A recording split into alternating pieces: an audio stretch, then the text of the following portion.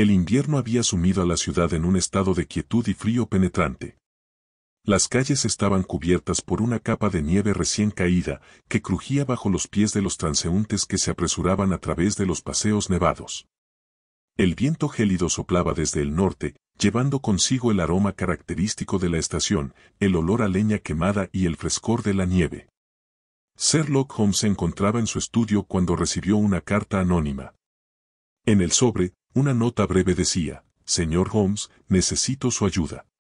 Un valioso tesoro ha desaparecido de mi colección privada, resguardado bajo llave en mi mansión. Todos los sirvientes tienen coartadas, pero estoy seguro de que uno de ellos es el ladrón. Le ruego que venga lo antes posible.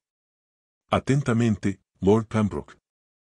Al llegar a la mansión de Lord Pembroke, Holmes fue recibido por el mayordomo, quien lo condujo al estudio donde lo esperaba Lord Pembroke, un hombre nervioso y preocupado. Señor Holmes, Gracias por venir tan rápido, dijo Lord Pembroke con un tono de urgencia. Como puede ver, mi colección de antigüedades ha sido robada. Todos mis sirvientes han dado coartadas, pero sé que uno de ellos es el culpable.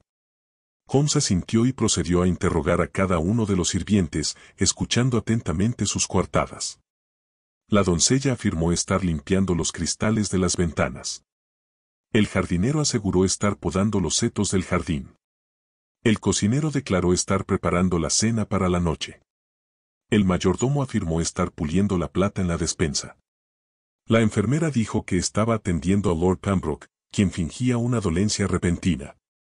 Después de una breve reflexión, Sherlock Holmes sonrió. Creo que ya tengo al culpable, anunció. ¿Quién crees que es el ladrón y cómo lo descubrió Sherlock Holmes?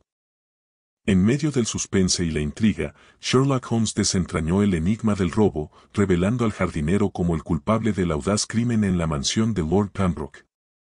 A medida que las miradas se volvían hacia el jardinero, una sombra de sorpresa y culpa cruzó su rostro, confirmando las sospechas del famoso detective. Sherlock Holmes, con su característica perspicacia, había notado una discrepancia crucial en la coartada del jardinero.